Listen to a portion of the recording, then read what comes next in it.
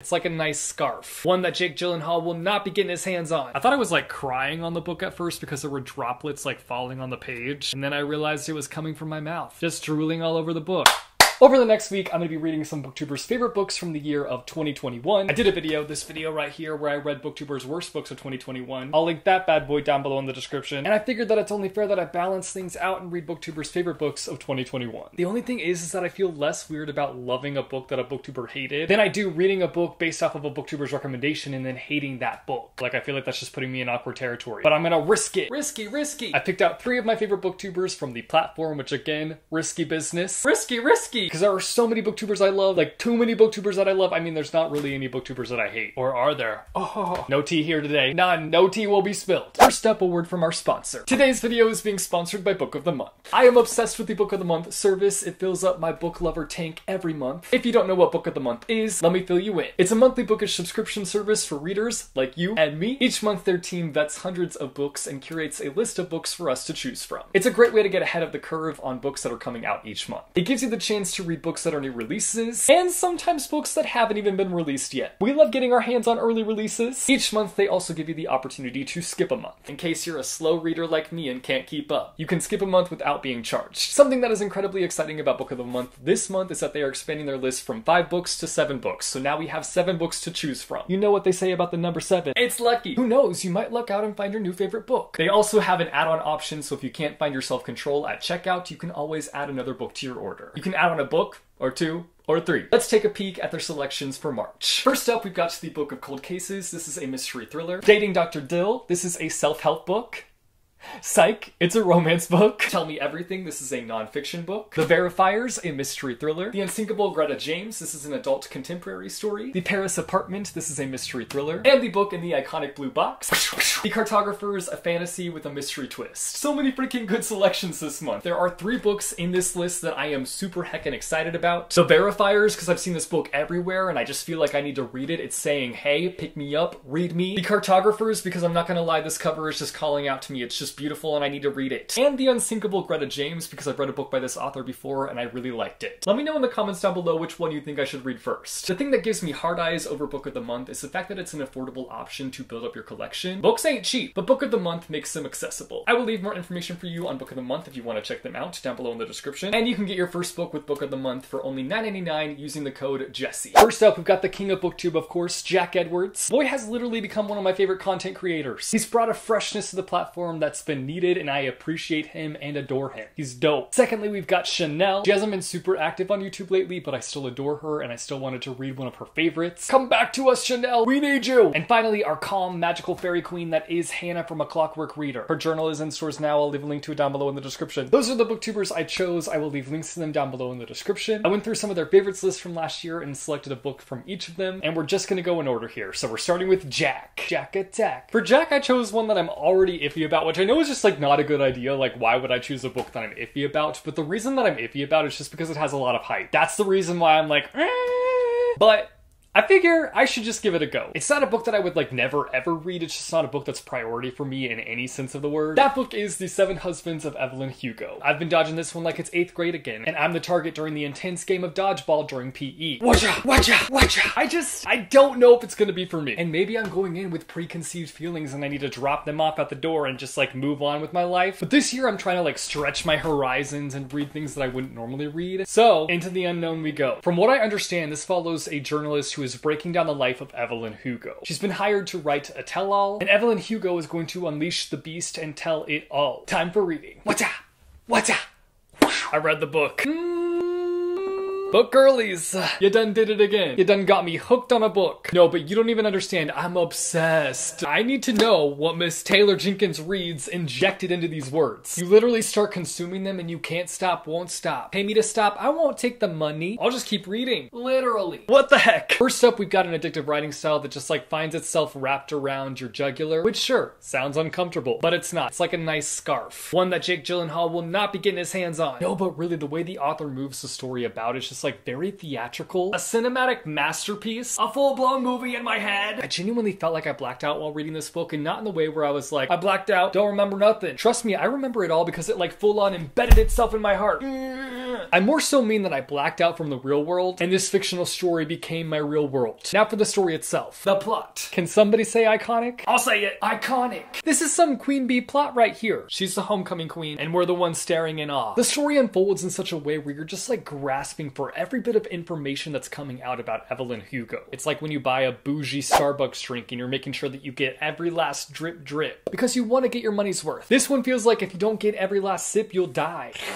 If you're new here, yes, I'm dramatic. Get over it already. As for characterization, Evelyn Hugo is an it girl. It's her world and we're all just living in it. Literally though. When you start reading this book, you realize how much of a side character you actually are. Because none of us can ever get on her main character level. It's unreachable. She's a character that like literally casts a spell on you and you can't undo it. But frankly, I don't want to undo it. Now let's not get too excited about ourselves over here because clearly Miss Hugo is not perfect. Just because she is the character, the moment, the everything, she's got her skeletons in her closet. And boy oh boy do they fall out all over the floor for all of us readers to see. Like clink clink, bones to the wood floor. I was also very satisfied with how things were brought together. Did it hurt when Evelyn Hugo dropped her bombs on me? Yes! If the impact of the things that happened in this book caused bruises, then I'd be one big and juicy bruise. Five out of five stars. Thank you, Jack. Speaking of Jack, let me compare my thoughts with Mr. Jack's thoughts. I know he has a more thorough review somewhere, but I can't find it anywhere. I can only find it in his favorite books of 2021 so far video, so this is like all I have to go off of, but his main points from this video. He says, first off, it's such a treat. Yes, delightful, a treat, which I agree. I sucked it like a lollipop.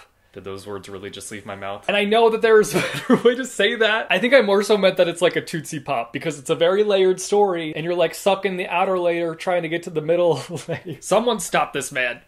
It's a treat. I agree, Jack. It's a treat. Next up, he loved the twist and he did not see it coming at all. Same bestie, same. Like still trying to recover over here. Like full on deceased. Falling to my death down here. And the last things that he said was that it was just so well done and so well executed. Yes, yes, yes. The word of this video is yes. So far at least. Yes! Thank you, Jack, for making me read this book and having it become one of my new favorites.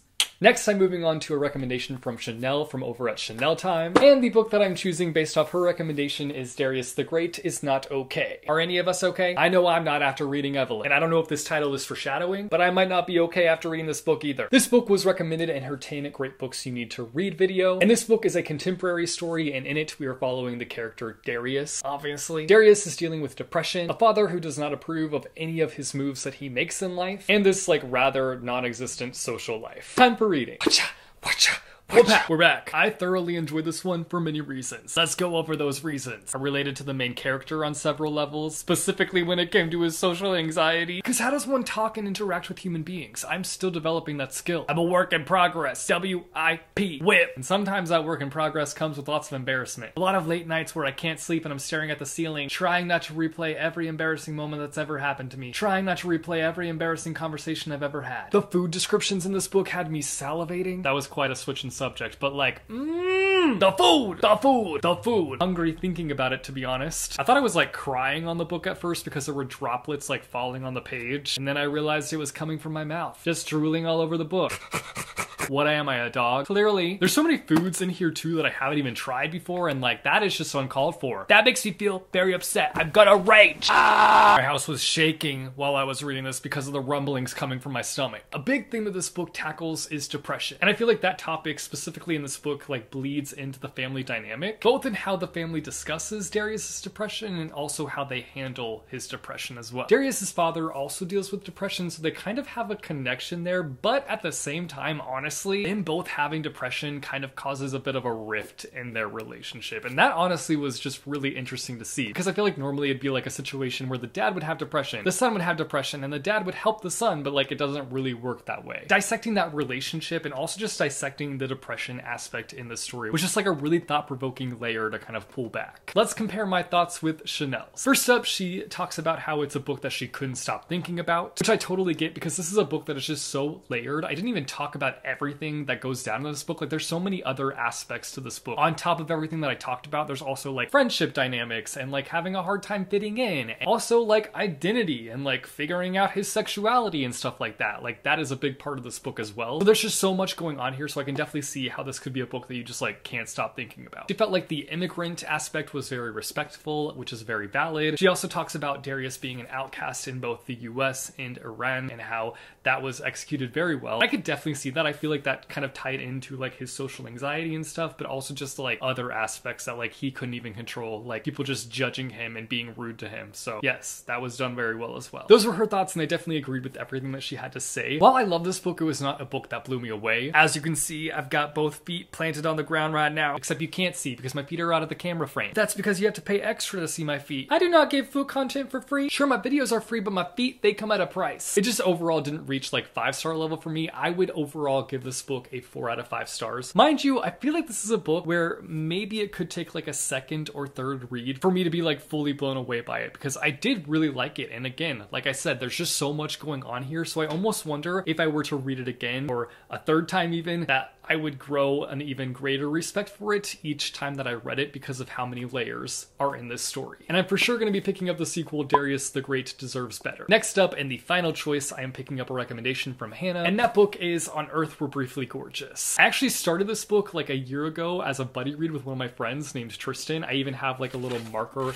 at the front that says, Buddy Read with Tristan, February 1st, 2021. But there's no end date because we only read like one little section of it at the beginning. That's where most of my buddy reads end up though, in Nowhereville, which is why you won't catch me reading books with friends these days. From what I gather, this book is about a collection of letters written from a son to his mother who can't read. Throughout the story, we learn of the family's history and open different personal doors and walk through different meaningful paths that our main character has walked down. Time for reading. Wacha, wacha. I haven't read any reviews for this book yet, but I just know that all the book bros and book girlies are tearing it to pieces because of its writing style, and to that I say, get a new palette. This book is delicious. I love the poeticness that just oozes out of the prose. And the thing is, yes, it is written in a very extra way. Like over the top descriptions, striking metaphors, unconventional lines embedded throughout it. But to me, it's what breathes life into the story. That was so dramatic. The reason this book to me is such a standout is because the author does so much work to make you just fully understand exactly how the characters feel. Like you just know the amount of work that he did in order to portray all these emotions and feelings. Yes, again, sometimes he does so in unconventional ways. And sometimes in ways that like trip you up and make you take a second to like reread the line you just read and process what you read. Catch yourself reading and rereading some of the lines in this book as if they're equations and you've got to find the solution. No, I did not sign up for a math class, but I will gladly work through these equations. But the thing is, you will always come out of it with an understanding as to what emotion the character is going through when presented. You won't leave it with any questions or confusion. Things will be crystal clear. I feel like a big part of this book depicts the idea of identity, both questioning yourself and exploring those questions. And then on the flip side, we see the part of our main character's identity as a child of an immigrant and how that affects his every move. In fact, some of my favorite parts from this book were exploring that identity of him being a child of an immigrant. He was only nine, but had already mastered the dialect of damaged American fathers. Ma, to speak in our mother tongue is to speak only partially in Vietnamese, but entirely in war. I code switched. I took off our language and wore my English like a mask so that others would see my face, and therefore yours. This is definitely a book where it's more so stable in character exploration, and while there's a plot present, it's kind of stripped of that to hone in on the character's roots and to see how they grew into who they are. I freaking loved this book, and it made me really happy to have a reason to get back to it after having set it aside after my failed buddy.